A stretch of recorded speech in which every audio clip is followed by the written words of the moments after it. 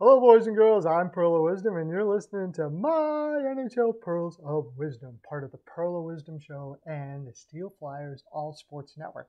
And today, I'm going to be looking at at the tennis game mark where every team looks like they're heading, where they're at, where I projected them to be, and where they may want to fill in roster spots, or are they going to be uh, trading some players away? Otherwise, I haven't did a video for a while because I mostly do trade videos. It's my favorite thing in the land to do that.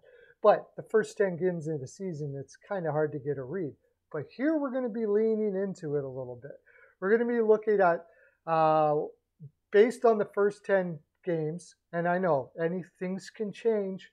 We all know that. But we can get a pretty good read after the first 10 games where a team might be heading. And uh, if they keep on going that way, where they may be going as far as filling roster spots, where their weaknesses are, and uh, you know who may who they may be looking to push out somewhere to get assets back and all of those sort of things like that. So we're going to be looking at that from Anaheim to Nashville in this episode, part one of where are they? I get, I don't know if that's what it's called. I just where are they now? All right. Yeah, first 10 games. What's my uh, view so far? What's your view so far? Comment in the comment section what you think of your team. Uh, if you hear anything that you disagree with or you completely agree with, subscribe to my channel. Let me know in the comment section. Also, if you subscribe to my channel, I do live uh, analyst live analyst play by play with uh, Peyton on the radio and Off the Wall John. You can be part of that too. Oh, it's fun. There will be frolic. That I know for sure. All right. Let's take a look at the beginning here with the Anaheim Ducks and where they are, where they're going to be, and what may happen in Anaheim land. All right. Anaheim's had a rough start to the season, but you got to look at things from perspective. Now, I did have them out of the playoffs by quite a bit.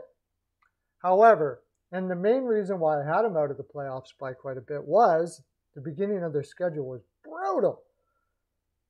Six games on the road, three at home. For a young team, they needed to hit their stride hard here. Young teams, it takes a while for players for for players to be able to play a full 82 game schedule. It's a grind. It's there's a lot that goes with it. A lot of ways that you try to prepare yourself all through the year. This is a reason why we bring they bring veterans in, or teams bring veterans in to help these kids along to be able to make it through an 82 game schedule. They're uh, how you designate your time, how you how your mind process all the way through. Do you get two down? Do you get two up? All of those sort of things like that. And I personally did not find that Anaheim really brought in guys after Getzlaf left that had a full concept of that really as well. Ryan Strome, he's 29 years old. He's been in the league for a while. He's never been known as what you would call a leader in the room. And it sounds like that's kind of what his role is here, which makes it pretty difficult, especially when you're filling the shoes of somebody like Getzlaf. And I was just really suspect of whether he was going to be able to do that, and we'll still see. We'll still see if he if he is. I mean, I'm not in the room all the time. I don't see all of these players on an individual basis. But it just didn't seem like the pick for me. Sort of like Frank Vatrano as well. These are guys that have been, all their careers have been part of teams. They haven't been leaders of teams. Nobody's thought of them as leaders of teams. Ryan Strome's been on the Islanders, Edmonton, and the Rangers, and he was a part of the team. Same as Frank Vatrano. He's a guy that go is a is a guy that works into a line. He doesn't run the line. Neither does Ryan Strome. And they're trying to do that here now with a bunch of young players which is tough.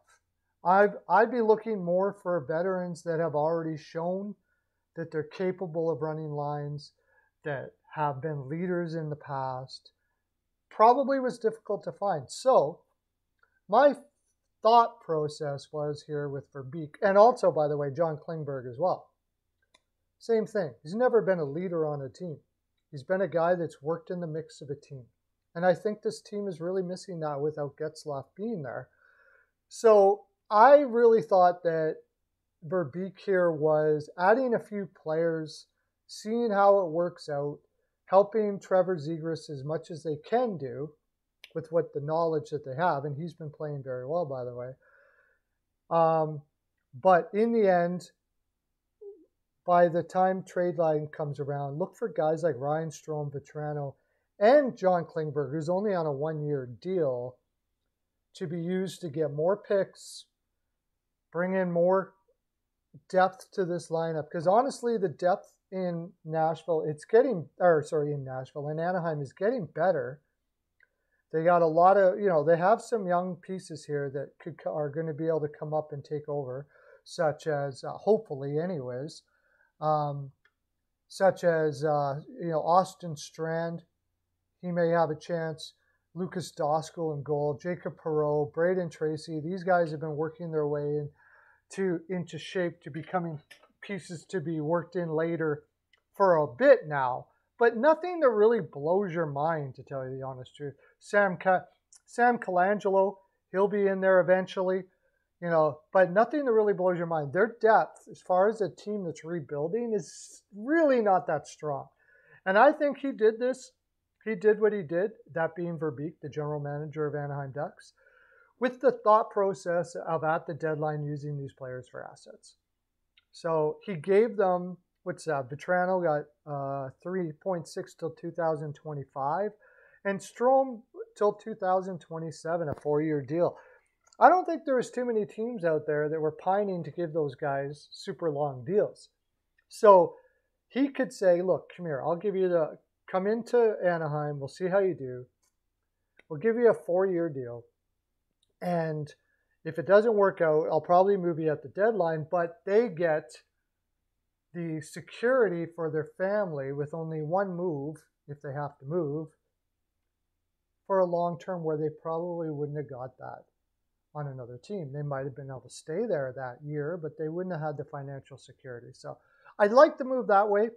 But I, you know, as far as what the team is, you know, I don't think I didn't think this was even close to a playoff team yet. I like what they're going to be in the future. I like what Verbeek is doing, but I didn't think they were close to a playoff team yet. And you know, you have John Gibson who swears up and down he wants to be part of the process here, but man, he is getting lit up.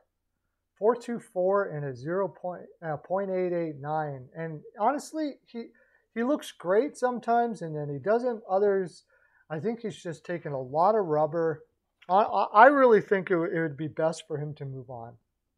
Maybe he will, maybe he won't. I don't know. If he sticks around, maybe by the time he's 32, this team is killer, especially if they got to get a great draft pick this year. So now they're heading. They're, they they had a terrible schedule to begin with. They're going to be going on the road again here. This is uh, October 31st, Halloween. Again, after already having six games on the road already, and they're playing San Jose, Vancouver, San Jose. Those are some winnable games, but being on the road that much, that long, is tough against no matter who you're playing with. And I think Verbeek looked at the schedule and said, you know what? I don't think this is the year. We'll see if I'm right.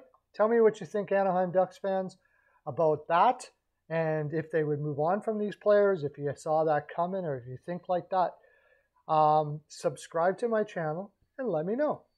Next, the Arizona Coyote. Okay, uh, what I've seen so far with the Arizona Coyote. Now, their record, which is not really something you need to look at too much here with Arizona. There's not much on this team that screams, you know, playoff. They're two five and one. Um, just had a game against the Rangers. But the thing is, is they've actually looked really good. I, I like for what they have in their lineup.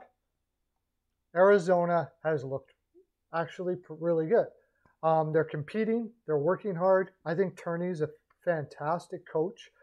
So, what goes forward for the future for Arizona? Well, Dylan Guenther possibly getting a Rookie of the Year award. He has been absolutely fantastic.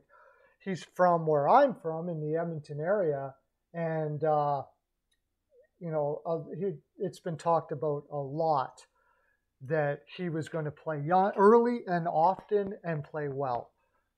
Most people that I knew here that knew Dylan Guenther, one person I know who played with him, said he will likely make the roster really quick, and he certainly has, and that's awesome to look forward to. Um, so the future, I think most, I don't think you're going to see a lot of players being traded away here, although probably Shane Gosh Gostisbehere will be used with his point production for some picks, especially if they can get a first in 2023. 2023 is a tough year to get picks for. There, it's a deep draft. It's got superstars in it, top three, Fantilli, uh, I can't believe I just forgot their names. Bedard. Can't believe I just forgot. And Michkov. So there's not going to be too many teams wanting to give up first here. But I like what they've been doing, grabbing 2024 first, uh, that being Armstrong. And I like what he's been doing with all the picks that he has and the way he's picked up picks. Now, I want to get into a little bit with, uh, with uh, Arizona because it's pretty much the same thing here. Maybe Kassian, maybe you get a couple guys like uh, Bjugstad. They're giving a lot of ice time right now to try to increase his value. Maybe they get some picks from him. But I want to talk about the arena situation in Arizona more than anything here because that's really the biggest topic when it comes to Arizona. Personally, Arizona fans, I think people there's there there are people out there that are just snobs and I think it's been over talked about about the fact that they're, I mean, overlooked down upon. Let's put it that way. You have an owner who has is forking over money. Maybe the league is helping out, or whatever the case may be. The arena is going to take a while. Arena deals take a while. The Calgary Flames, for instance, had a tough time with their arena deal. I'm here in Edmonton. It was a little easier, but arena deals take a while no matter what you, what you're doing. And we need this team in Arizona. I think the fan base is going to get stronger just like it did in LA, just like it did in San Jose. Untraditional markets that did well. And I think that it's overdone that they have to play in a 5,000 seat arena. I would rather see a 5,000 seat arena full of fans creating excitement, um, you know, I know the ticket prices are high, and I understand like they have to make money, and it's unfortunate a lot of people can't afford to see the games. But for those that can, you're building a fan base.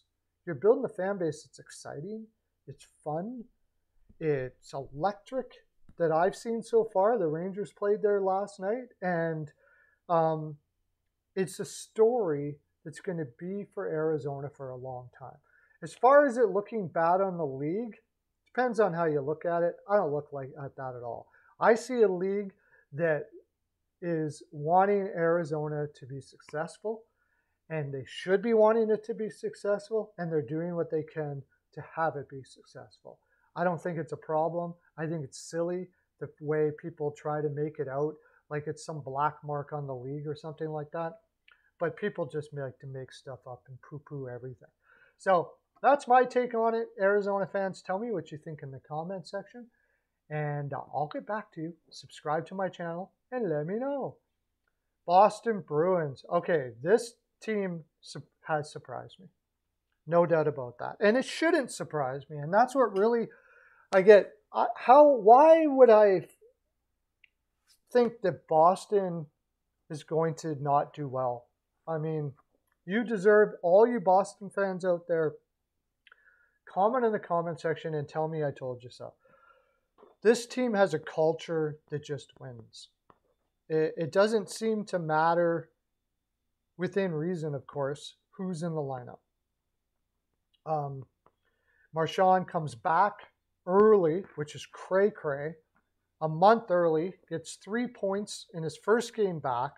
But all the way along here, uh, Boston has just found ways to win. Now, I do believe that they did a lot of that winning at home, that their strength of schedule was, you know, it was pretty good. For, it was a pretty good schedule for them. But it doesn't matter. You lose Marchand, you lose McAvoy. Um, they struggled on defense last year. And yes, they are 6 0 0 at home and 2 and 1 away. We'll see what happens when they go on the road. But they had some big wins in those spots, and they didn't back down, and they didn't stop looking like Boston. You know, they, they still look like Boston all the way. That what I mean by Boston is like the effort was always there. They do what they have to win. You got guys like Hampus Lindholm that are is playing absolutely fantastic and kind of shows you something that I didn't talk about with Anaheim is that I'm a little concerned with their defense development there. They've had a lot of players that haven't really hit their stride. Boston probably recognized that, paid a crap load for Hampus Lindholm, and he's earning every penny. Derek Forbort's having a great season this year after I talked to a lot of Boston fans, and they were basically wanting to ship him out, and I didn't blame him. He wasn't all that great, but he's having a great season this year. Um, Connor Clifton is stepping up, just the step up mentality and the culture here. And Linus Ullmark, who I, when they made this deal, I actually loved it. And then last year I was like, hmm, you know, but it appears that it has taken just that took a year for Linus Ullmark to find his comfort spot and now is playing out of his head. Amazing. Um, David Krejci has been out a little bit, hasn't stopped them. Nothing stops this team in Boston. And uh, for their future, what do I think for their future?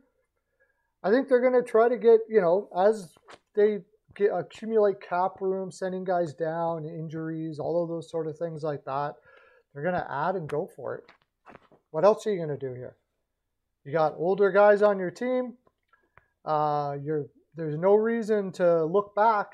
So I think they're going to add probably to their defense if they can add some depth to their offense.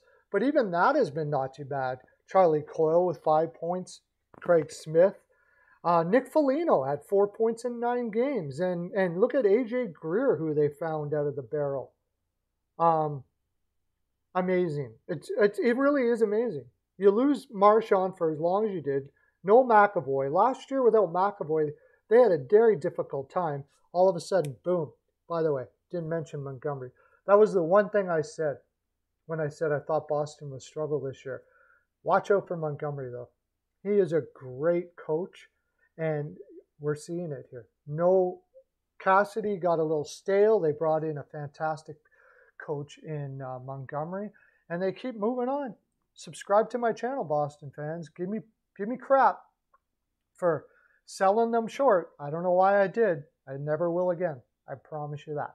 All right, next, Buffalo Sabres. And this was a team that I had in a playoff spot this year. And uh, I was iffy about it, I have to say. But I just love, love, love Granato as a coach. And uh, when you have guys like that, and why didn't I think this way about Boston, by the way? I love, love, love Montgomery as a coach, but for some reason I didn't apply that to Boston, but I do apply it to Buffalo. Um, I love him as a coach. I think this team is gelling really well. They have a lot of players that are hitting their stride. I love Alex Tuch.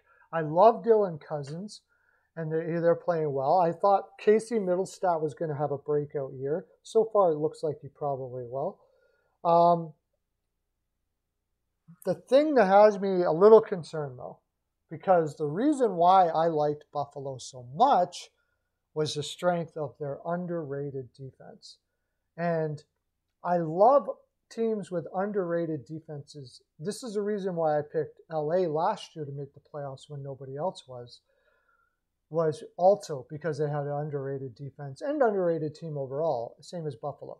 Those kind of teams can go into cities and they don't get the credit they deserve. So teams play their backups against them and all those sort of things like that. And before you know it, they're winning. However, we had some injuries, didn't we? Mattias Samuelsson being injured week to week is tough. Um, I love the contract he got, by the way, $4.5 million a year. He looked last year like a very, very mature 21 year old, and he looked like a guy that was going to be a top two defenseman. I think that contract is going to be gravy in the future, but unfortunately, he's injured now.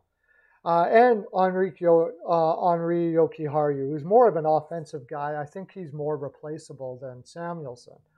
So now you're going to have Jacob Bryson play up. And I like Jacob Bryson, don't get me wrong. I imagine he will do not bad in that spot. Um, also, another reason was I said to my, I also am a professional handicapper. I give bets to people and they pay me for it. And uh, I had I gave my clients Rasmus Dahlin as a future to win the Norris this year at like plus 10,000 or like way up there. I said, throw 10 bucks on it because I love this kid. And look at him 10 points in eight games, five goals. He could do it. He could do it. And Owen Power, I, I know he's only 19 years old, but what I saw last year, I was like, this guy is like way above his years. The future of Buffalo's defense is insane. It's going to be one of the best defense, if not the best defenses in the league. The uh, other everybody's issue was in goal, and mine too. I just liked Eric Comrie, but we'll see. We'll see. His numbers aren't spectacular right now. Craig Anderson's 41 years old, but I also thought that they could get another goaltender somewhere along the line, especially if they're really knocking it out of the park. Oh yeah, right. We lost Laya, Lyubushkin too only day to day. When he comes back, the defense should be okay. It should still be good. Um, so, what do I think for the future for Buffalo? It's kind of a wait and see mode. I don't see them being sellers all that much this year. Um, they're they don't really have much to sell besides maybe Victor Olofsson. If they're right out of it during play, uh, come playoff or come uh, trade deadline time, maybe Victor Olofsson or something like that. But I think this team just keeps on building with the youth that they already have, keeps on growing as a team. I don't think you'll see too many changes. If they're right in the playoffs, they could be buyers, especially if the goaltending is kind of iffy right now.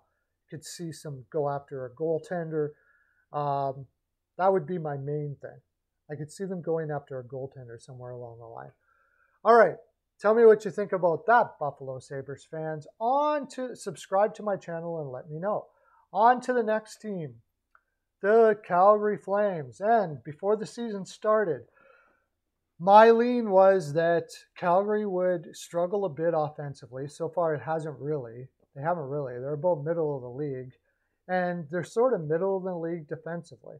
And people thought, oh, you're crazy. They got Huberdeau. They got Kadri uh, how could they struggle defensively? And as you can as you can see here, Sutter has now, as of today, the 31st. Looks like he's moved Elias Lindholm down in the lineup with Toffoli. He's shaking it up. It's got Dubé with Backlund and Coleman, trying to get see that trying to get the right combination because the combination didn't seem to be working all that great. I, I think Huberdeau Kadri is a better spot for Huberdeau. But the reason why I thought that Huberdeau might struggle a bit this year is Calgary plays a man on man defense and Florida played a zone. And Huberdeau didn't play the zone. He, he basically flew the zone all the time. He, he played very cherry pick type hockey. Um, his offense was fantastic. He's, not, he's an unbelievable passer, but his defense was not great. Let's put it that way. And I, I thought he was going to struggle. So a lot of people people will say, all even coaches will say, defense produces offense. It's true. It produces team offense. It, however, does not usually produce individual offense. So I thought Huberdeau would slide a little bit. Uh, I thought he might have a little bit of a difficult time adjusting, and it appears that he has. Kadri, on the other hand, I didn't think he'd have a time as much time adjusting. I also didn't think he'd be a hundred point player again. Um, but with Sutter, I thought Kadri was going to benefit the most. Seems like he is right now. Overall, the offense just hasn't looked great to me yet, and that could change over time here, but I still think it's going to struggle over the season. Defense, on the other hand, as far as actual manpower, getting Weegar, I thought was going to be absolutely spectacular, and it has been. It has been very, very good. Um, the problem I had was when you lose Gaudreau and you lose Tkachuk, Gaudreau, Tkachuk especially, two, the two-way play from the forwards was going to take a hit, especially when you're talking about bringing in Huberdeau. And that seems to be an issue here. Sutter seems to be saying as much. It's going to take some time to adapt. I did think Calgary was going to slip a little bit. Their record right now is six and two, I believe. So I mean, they're not slipping all that bad. But I do believe they have had a strength of schedule, have they not? Yeah. Mostly at home. So we'll see how they are on the road. They're going to have to see how they are on the road. I thought this. I thought Calgary wasn't going to be as good as people thought. I'll see if that turns out to be the same, the case. I also thought before the season started that one of these defensemen will be used to bring in a forward, and I still think that now. Tell me what you think, Calgary Flames fans. Do you uh, do you see that uh, using their strength and defense? Who? I'm not sure. Um, I don't like moving 10 of, You know, I'm not sure about. I, I love Zadorov, maybe he, but I don't know how much offense he brings back. But a package of players, maybe another forward, a defenseman, and a first, and you get a top-notch forward to uh, play because Lucic, Lindholm, and Toffoli what, what's their injury situation like? Like, there's not many injuries going on here. Uh, so this lineup down the down the lineup is lacking offense, and they could use some offensive depth. Tell me what you think about that, Calgary Flames fan. Subscribe to my channel and let me know in the comment section. Carolina Hurricanes and what I've seen so far with Carolina, I, I, see a team that's playing really well, but not the best I've seen them play. You know, um, they, it's I I just it just doesn't feel like it's all there. Uh, against the Islanders, for instance, they had a second period where they just fell apart. Now their schedule has been tough, and that could be part of it as well. Um, I believe they have, yeah, look, four, well, two games at home and five games on the road in a Western road trip. That pretty much explains it. I, I don't see Carolina, I mean, they still have a winning record and they had a brutal schedule. So what does that tell you? They're going to keep on flying. I had them possibly as a President's Trophy, um, but I don't know if that'll actually pan out or not. They may start to uh, kind of take it easy as the season goes on and pace themselves and stuff like that. Maybe they won't. The, the, the, I don't think Carolina has ever had a President's Trophy. And quite often, like Florida last year, that's a motivation to at least capture that.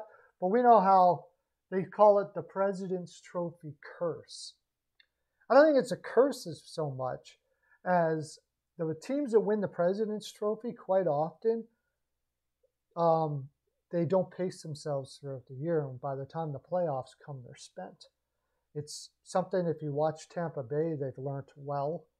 Uh, St. Louis, when they won that year, they sort of, Colorado, you're going to see it. It really is something you have to do. And end, and and great teams end up losing to a lot in a lot of spots where you're like, how the heck did they lose that game? But you got to pace yourself throughout the year. So, and I think Brind'Amour knows that. So I think you'll see that down the road. As far as what they may be looking for to add to the lineup down the road, if they wish to do so, it all depends on what Kasperi Kotkaniemi does. So far, I haven't really noticed him all that much, and I thought he was going to have a breakout year.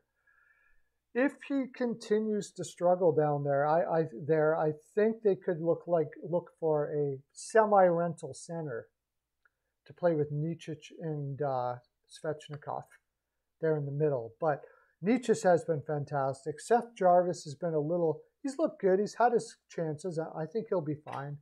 Teravainen really hasn't lit it up. Like these are guys that are usually going. So they got a winning record, a very good winning record, and some of their guys are not hitting their stride yet. I think they're going to be fine. I think they're going to be fantastic. Tell me what you think about that, Carolina fans. Let me know in the comment section, and uh, I'll chat with you, don't you know? Subscribe to my channel and let me know. All right, Chicago Blackhawks. Wow, is this a surprise?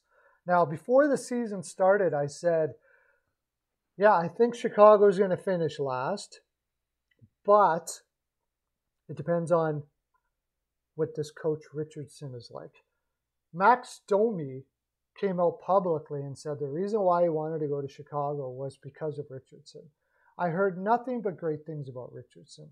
But the fact is, he was a rookie coach. So I'm like, a rookie coach after losing DeBrincat and all these guys, you know, like everybody else, I think I figured they would be in last place. They've come out strong. They've done very well. They're playing harder than they were last year.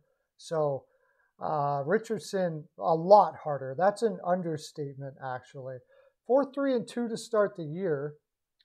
Kind of half and half games on the uh, at home and on the road. Um, but a solid start. Now, do I think that's going to keep on going? I think probably not. I mean, this team is very young. You got, uh, you know, Taylor Raddysh is 24, Philipp Kurashev, who's having a fantastic year to start the year, um, is 23. You know, Reese Johnson. These are like Tkachuk, and these are not that young players, but they're players that came mostly from other teams, or or and are really just learning what it be, is to be in the NHL right now. And it takes some time. And usually, young players like that, they wear out as the season goes on. We'll see if that actually happens. I think it's more than likely. I mean, is Alex Stalock is a wonderful story. He uh, he didn't play at all last year. He's had, uh, I think, hip issues or something like that. Comes back from surgery and he's putting up fantastic numbers for a team that isn't strong defensively got guys like you know Jarred Tinordi didn't make it in several teams so far this year or so far in his career. Caleb Jones, uh, you know, he's kind of like a, a, an outskirts player, and Jones has been hurt now as well. Jack Johnson playing. Jack Johnson's playing like 22 minutes a night, and this is a guy that could barely make Colorado's lineup. So I think over time they'll probably start slipping. Um, but it's fun to watch now. I'm really excited for Chicago fans that they're seeing a team that tries as hard as this team does. And I'm really happy for Luke Richardson to get a shot here and make the most of it to be able to be what everybody else said he was going to be. It's fun. But I think some I think down the road they'll start to slip and then the Patrick Kane and Jonathan Toews rumors will start coming out. From what I understand, Patrick Kane is pretty sold on sticking around after me doing trade video and trade video. But maybe Jonathan Toews has publicly said that he wouldn't want to do something like that. However, he's playing really well. Five goals and two assists. Looks great, which is fantastic for if they decide to move him or if they decide to keep him. Tell me what you think about that, Chicago Blackhawks fans. Subscribe to my channel and let me know. All right, next uh, Colorado Avalanche. And okay, last year the Colorado Avalanche started two and six. That's right, two and six. So are we worried about the fact that they're kind of about that right now? I think they're somewhere around two and six. Not even four, four, and one. And they've most most of their games have been on the road so far. And they have been uh, working in new players in the lineup. They lost Kadri, so They're they're giving Alex Newhook a shot. His minutes have kind of died. I thought he was more ready than he was, but I was incorrect about that. I thought Newhook would be able to take that spot and do fairly well, but it looks like it's kind of not working out that way. JT Compher is not the guy. So I think for sure, for sure, they're going to be looking for a center down the road. Now you say, well, why didn't they sign Kadri? Well, Kadri was asking for quite a bit of money for quite a bit of term. Joe Sakic obviously doesn't like giving older players that much term. And he figures that somewhere down the road, if it doesn't work out, they can pick out a player at the deadline. They have they have some assets um, to do it. Valeri Nichushkin has been every bit as good as I thought he was going to be, and when he you know goes back into the roster, then you know that second line doesn't look that bad. But there is a pretty big hole in the middle, no doubt about it. And I imagine they'll try to find a way to fill it. Looking at the defense, it's fantastic, spectacular defense this year. Makar still hasn't had a goal this year, which is a little bit concerning, but I'm sure he'll pile them on after a while. It's just taking some time to work everybody in the lineup, get to know each other, get to know what they're going to do. Um, my biggest concern was Alexandar Georgiev, and honestly, he hasn't looked great to me. Again, um, I'm still concerned about it. He I was concerned about Georgiev, and the reason why I was concerned about Georgiev is because I didn't like his attitude in New York. He seemed to be crushed by the fact that he was a backup to Shesterkin. It just seemed like a lot of immaturity to me. And when he went and played and won against the Rangers, he jumped up and down like he won the cup. Like, really, man? It means, can, can we just focus on becoming the best goaltender we can be without comparing yourself to people? And maybe they'll work that in him you know, they'll help him along with that as it goes, if that is in fact a problem, and everything else, and he'll become better as a goaltender. But I, out of all the things Joe Sakic has done, this is the one that had me going, mm, I don't know, buddy. I don't know. The good news is they can probably fix that somewhere as the season goes on. So I think a, a number two center is going to be on the cards. I would say, unless one of these guys can turn it around and step up, which right now I'm just not seeing. And uh, you know, I hope maybe that's a probably a rental in the two, three year mode, or maybe even one year to give it a shot. Because I really do think Newhook is going to be a fantastic player, and he's only 21 years old. So I don't think they're going to want to get anybody long term. If they did, they probably would have kept Kadri, right? Um, and I think the team will be fine. They started off slow last year. They're starting off this year slow. A lot of their games have been on the road. So it's just taking some time for them to gel. And, uh, you know, they have assets to be able to, they have some decent assets if they have to, to move to get some players down the road to help them out. All right. Tell me what you think about that, Colorado fans. Let me know. What do you think your team is looking like in the future? How pissed off at you are they that they didn't sign Kadri and all that kind of stuff. Love to talk to you about it. Subscribe to my channel and let me know. Columbus Blue Jackets, and oh my, has this team looked bad? So bad. No heart in this lineup at all. And I had it, I, I didn't have them making the playoffs, but I kind of thought they would be better than they are right now. Of course, you get Johnny Gaudreau. You think, oh, we got Johnny Gaudreau now. But the thing is, what are the Columbus Blue Jackets? Um, even last year, they weren't all that difficult to play against last year. Um, their defense was never, wasn't really all that great last year. Uh, offensively, they were fine. They skated well, and I think that they took some teams by surprise because of their speed. They kind of took a step up in that department, and a lot of teams took them by surprise. They took a lot of teams by surprise last year. Not only that, there was really bad teams last year to feed off in the East. Detroit was not very good. Ottawa was not very good. Uh, you know, they uh, just to really bad teams in the East last year for them to feed off. They don't have that this year. And I don't know, they just look lost, man. They they look like they have very little direction. They very little confidence. Um, goaltending has not been good. Look at these 4.75, 3.57.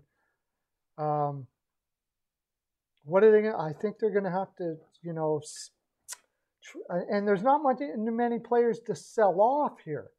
They've kind of sold off at the deadline previously.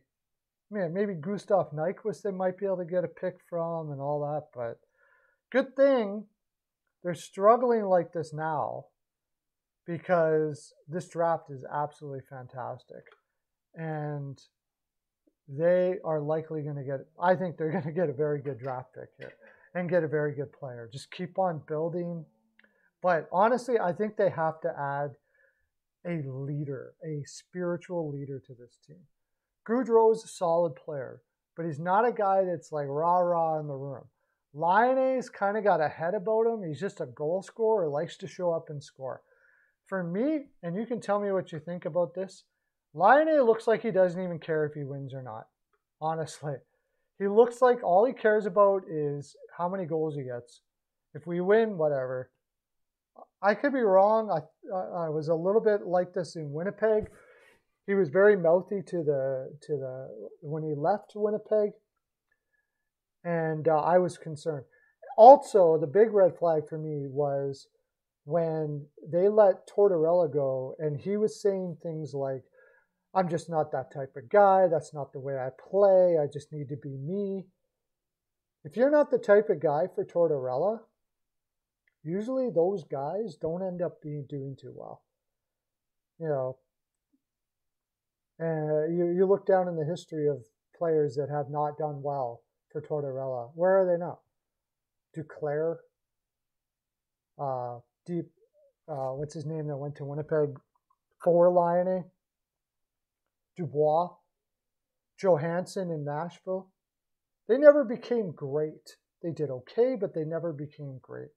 So that was a red flag for me. And now he's kind of supposed to be their leader. You know, Boone Jenner is their leader, and I love Boone Jenner, but one guy, it's just, it's not enough for just one guy. They need more accountability in the room here, I think, in Columbus. Let me know what you think about that, Columbus Blue Jackets fans. Subscribe to my channel and talk to me about it. All right, Dallas Stars.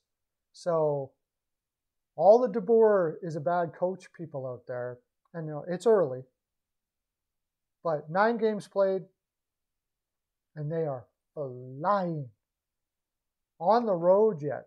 They didn't even have a strength of schedule uh, really strong schedule. Like, yeah, they've been four games on the road, four games at home. Home last year, they crushed, and they're still doing it.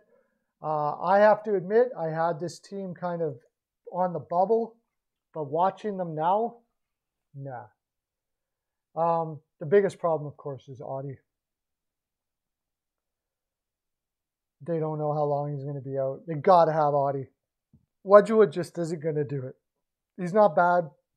He's okay, but he's not enough. You, you really can't have Wedgewood as your goaltender for a long period of time and win win on a regular basis. If you do, you're doing amazing. But I I said before the season I love the Mason Marchment pickup and look he's doing fantastic here. Tyler Seguin looks like he's a new guy. You know, Jamie Benn, beautifully, he's put on the third line now. That's what he is now. He's a very expensive third liner. You just got to live with it, right? And then this Wyatt Johnston kid, they drafted in 2021, had a spectacular year in junior last year, and has come in and looked absolutely fantastic. Um, it's been a huge boost to this team to have a young kid like that come up because depth, offensive depth was a an issue. Of course, we all know about Robertson. Guy is an absolute beast. Roope Hintz, Joe Pavelski is going to play till he's 90 or whatever. I have no idea. Does this guy ever freaking stop? He's on a point a game pace now at 38 years old. You watch him on the ice and you're like, This guy's 38. Jeez, unbelievable. Tell me what this guy is taking in the morning. I want it. Um, love the guy. Love him, love him, love him. Uh, Miro Heiskanen, day to day, is going to be great. The whole defenses look spectacular. Nils Lundkvist, I when they picked him up from the New York Rangers, and I'm telling you, we'll talk about this when we talk about the New York Rangers. I wasn't high on them to begin the year. I really thought they could be in tough. I think they're going to make the playoffs, but I don't think it's. And this is the reason why. Why letting guys like Nils Lundkvist go and giving Trouba the captaincy to me was just I, I don't I don't get it. Nils Lundkvist was a very, very, very good young player. Dallas, who has done an awesome job of identifying youth in their lineup, period. Probably the biggest strength to this organization is their draft and development and identifying young players. And he's just crushing. He's, he, they have him on the second pairing here, but he can play top pairing. This guy is that's going to look like one of the greatest deals if New York Rangers whiffs on that first the, in Dallas's history. Seriously, I think of that high of him.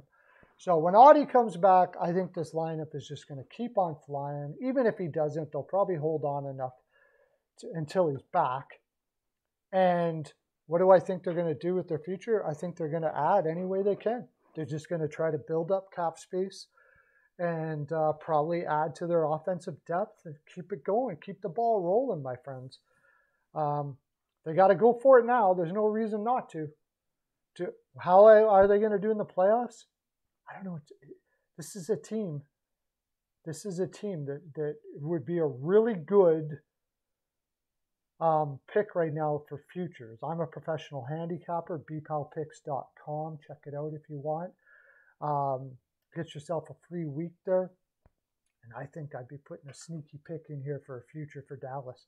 Tell me what you think, Dallas fans. Let me know in the comment section and uh, subscribe to my channel. All right, next. The Detroit Red Wings. Hope I didn't miss anybody there. Uh, the Detroit Red Wings, I was on the fence about this team to start the year. They're looking really, they're looking good though. They, they've had some tough competition and they've had their bumps and bruises literally and figuratively. Tyler Bertuzzi's out for what, five weeks? Um, Fabbri, is he ever going to come back? Four months, my gosh. I don't know what he's going to be. Uh, and, and, these injuries have been difficult. And of course, Jakub Vrana having personal issues there. So for a lineup that really has had to have guys step up, I think they've done well. Um, so far, I think they're about what a 500 team.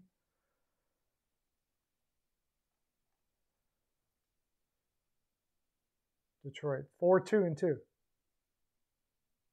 Eight games played, four, two, and two. A lot of them on at home. We'll see what they are going to be as a road team, but they've held themselves in, and I had them as a bubble team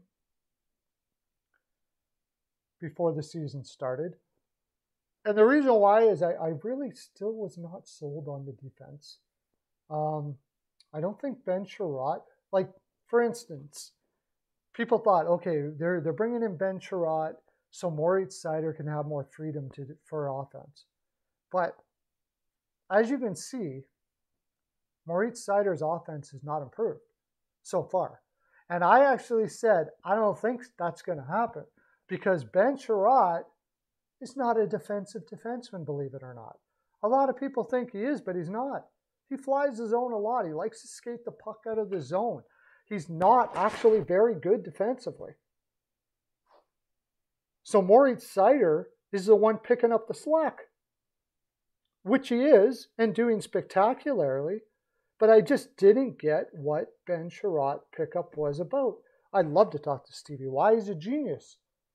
And I hate uh, questioning what a guy like genius like Stevie Y does, but I really I really didn't understand the signing. I don't know, like his did he have an analytics team? If he had an analytics team, like they'd be going, you know that he's not a very good. Now, if you're bringing Ben Chiarot in, So Moritz Seider can play more offense. Why? He's not great defensively. So somebody tell me in the comment section what I'm what I'm doing there. Uh, and like I said, if you you know, there's going to be people that disagree with me, but so far you have to admit, more Moritz Seider's offense has diminished since uh, Chiarot came in, not increased. Uh, Oli Olli Maatta uh, also is okay. He, he's got more offense. I'm sure that's not going to stay that way. Uh, but Filip Hronek, uh, he was he was probably brought in so Filip Hronek can do the same, have more freedom to go offensively. He's not that great defensively. Neither is Robert Hagg. Uh, he's he's okay. He's not bad. He's he's good in that spot. Um, I, was a little unsure about Ville Husso, but he's looked really good. I was sure that Nedeljkovic probably wouldn't be that great, and he's not. I didn't think he was that great to begin with. But overall, what do I think is going to be in the future? Well, I just think that they're going to need to get when they get Bertuzzi back.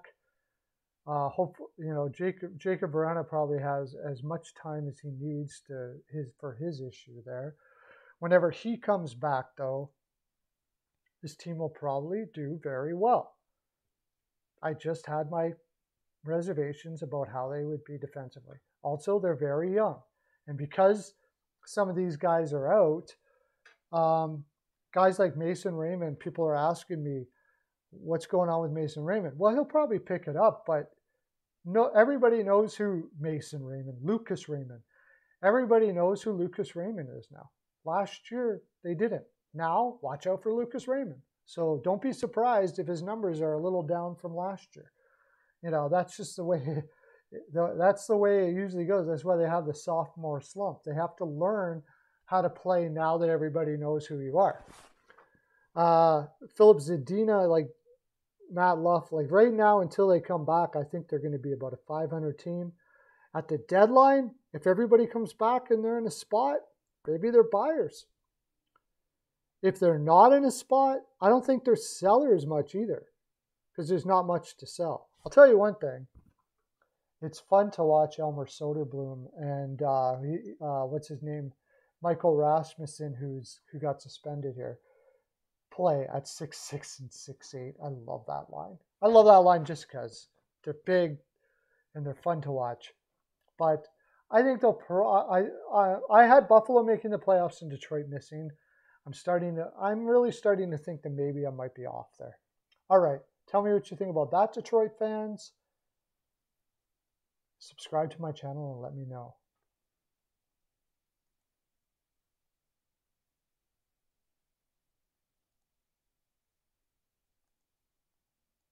My internet's out for a little bit, so we're going to be going on to um,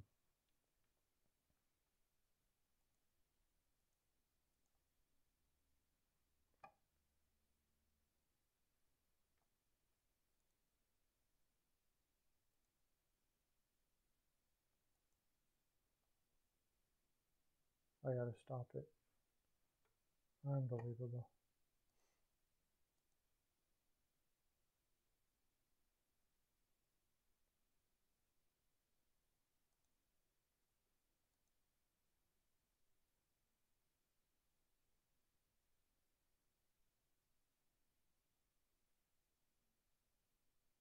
All right, we're back. Okay, the Edmonton Oilers. I'm just going to keep on going. I don't have time to do this over again. Uh, the Edmonton Oilers. Okay, I had them winning the President's Trophy this year. So, are they going to win the President's Trophy this year? I don't know. Why did I have them winning the President's Trophy this year? Because offense wins championships. And I think they just have too many offensive players hitting their stride this year. Uh, Connor McDavid, 25 years old, right in the heart of what is going to do. He's already got two points a game. Uh, Zach Hyman, uh, he's 30, but he's playing on that line. He, he just keeps one of the best two way players in the game. Leon Draisaitl is now 27. He's not going to slow down and probably just going to keep on getting better. Um, I just thought their offense would be so overpowering that division that they would just they would rack up wins that way. Did I have concerns about their defense? Yes. Do I still have concerns about their defense? absolutely no doubt about it.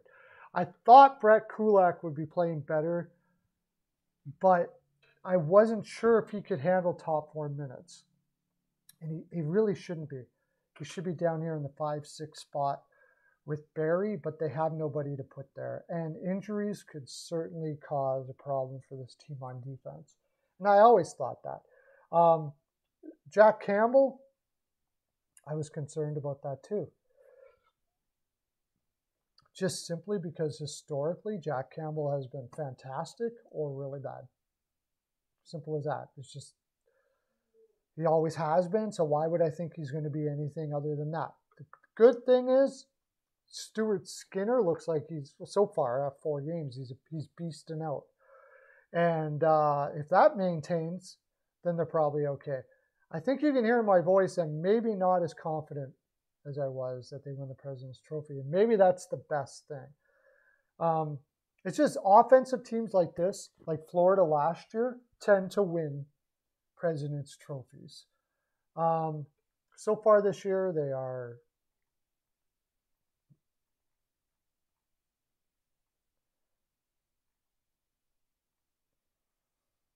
six three and zero, oh, uh, and three and zero oh on the road, three and three at home. So they they've had a that's right. They had they've had a tough schedule. They played some tough teams at home, and you know they've been away. It's not a super tough schedule because they've been at home a lot, but it's tough in the sense their competition was pretty strong.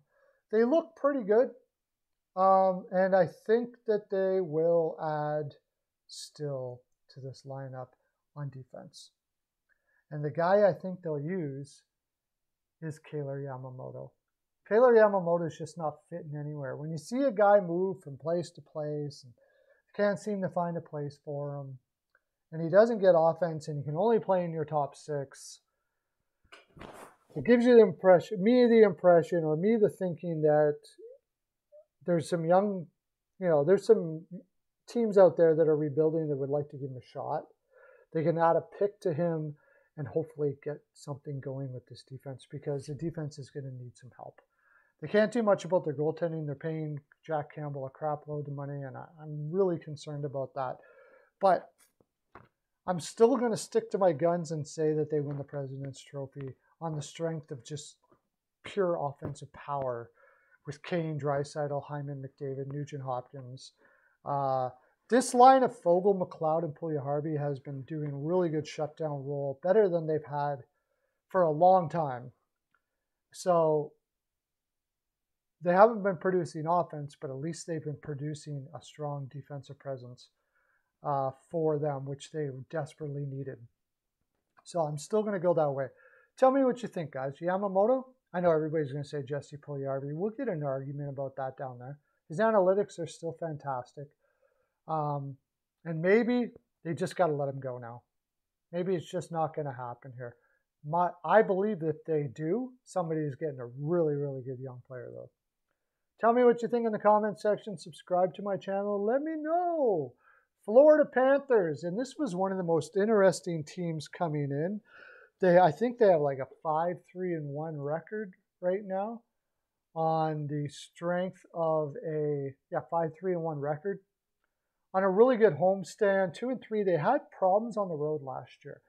And i think paul maurice is really trying to focus on this team being a better road team because he's really focusing on them playing a better road game all the time.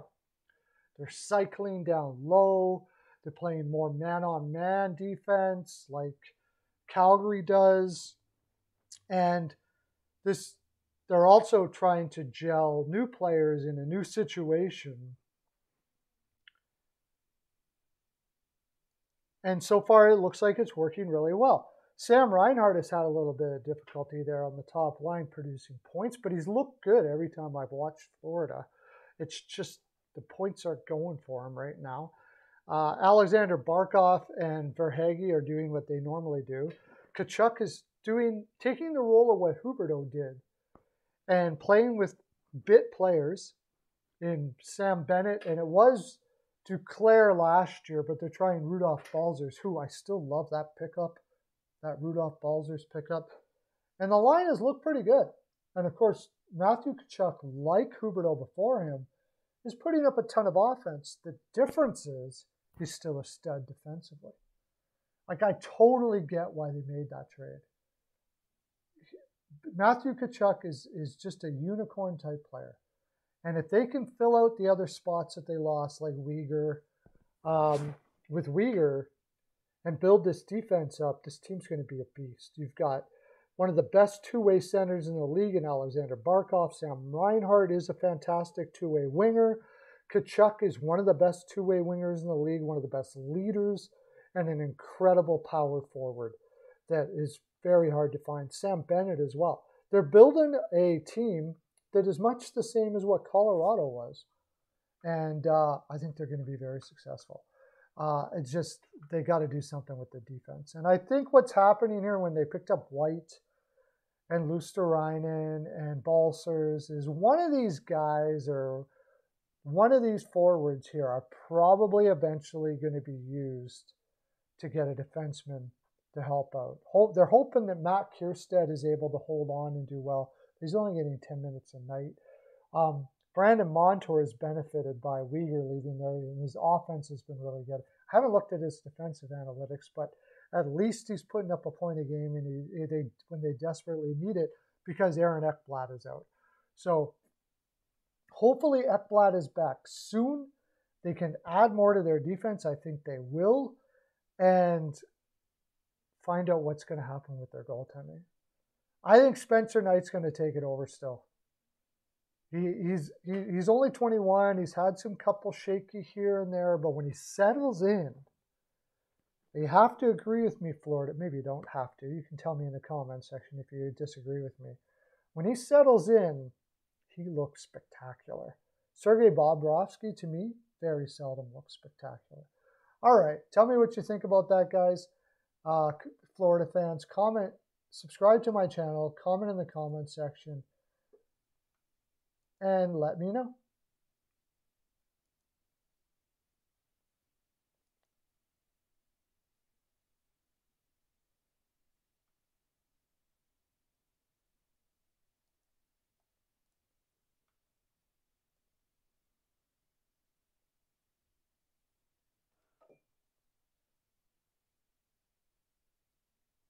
All right, Los Angeles Kings. Uh, I'm going to keep on going here. I'm having problems, but I'm going to keep on going. Vilardi, Kopitar, and Kempe has been have been absolutely fantastic. Um, I, I think the whole lineup. I'm going to keep this short and sweet, really, with LA. I think the lineup is fine. They could use some size on defense. We've known that for a while, but they have lots of pieces on defense, especially on the right side. You, got Sean Durzi playing the left side well, by the way, um, because they have so much wealth of talent on the right side and more coming up. Helge Grans, Jordan Spence playing down there. They would uh, they would probably be playing in most lineups right now, and of course Brandt Clark.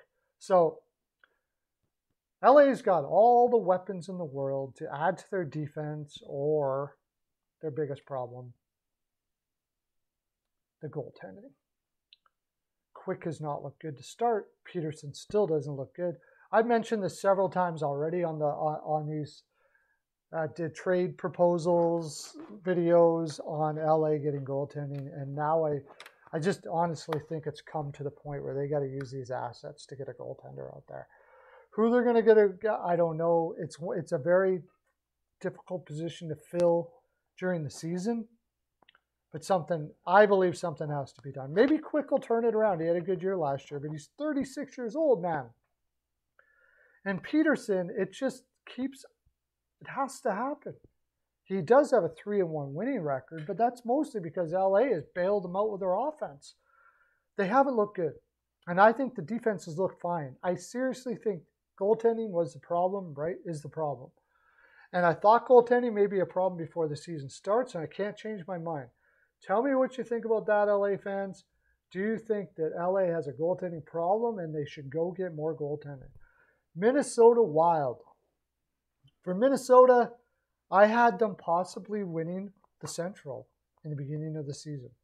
Uh, it's been a little bit of a rough go for them. They got because uh, Fleury started off rough, and he does that. It always takes time for Fleury to get going, pretty much all the time. I don't know why. I don't know why he hasn't been able to rectify it, but Minnesota played some pretty good games where he really was the reason why they lost it. I mean, simple as that. Lately, though, it looks like he's back on track again. And I think Minnesota will be fine. Four and four. They kept it going. They got their wins, especially on the road here. They found ways to win against Chicago. Uh, you know, they're they're winning the games that they really need to win, especially against weaker competition. There was also going to be a little bit of an issue with working in some guys in the lineup after uh, trading Fiala. Uh, Ryan Hartman, I, I, don't. He hasn't looked good, and, and, look, he's injured here. They don't know when. Maybe that's why. So, are they going to win the Central now? Do I, am I as confident as I was? I think Fleury's going. I I always will believe in Mark Andre Fleury. I think he's going to turn it around, and this team will do very well. Maybe not win the Central, but I think they're going to be fine. Are they going to add in the future? If they're close, you can be assured that they're going to try to find a way to add in the future. Where? You know, maybe some, you know, depth defenseman, uh, or maybe they'll solve that center spot issue that they have. Gaudreau is good, but is he a number one center? They're waiting on Rossi. It's really going to come down to when they think Rossi will be ready. He's 21 years old. He hasn't got a point yet. He's looked pretty good, but he hasn't looked great he looks like he's at least a year away. So I think it's possible they go out and get a center for this year and next year or something like that and let Rossi work his way up in the lineup. Tell me what you think, Minnesota fans, especially with Foligno and Greenway being gone. Man, that's going to be tough. But one man up, I, I don't think we've seen the best of Minnesota. Minnesota Wild fans, tell me what you think about that. Montreal, quite simply, playing with so much heart. It's uh, they're playing with a lot of heart, not giving up on anything. They just came back heavy on St. Louis, shot the lights out on them. It's quite simply for Montreal. If you go in there without a workman, without your work hat on, you're probably going to get beat. And that's Marty St. Louis. He has done an amazing job with these guys playing with pride, and Nick Suzuki. I know uh, who was it? Was it Marchand that came out and said that he thought it was too much to give to young players a captaincy like that. I don't know. He looks like a captain to me out there on the ice. Like I realize that that's the case sometimes. That you know, like Taylor Hall, for instance, in Edmonton, it didn't seem to work out well, and there's been many other instances of it. But I think Nick, I don't think that's the case with Nick Suzuki. I think he's going to be fine.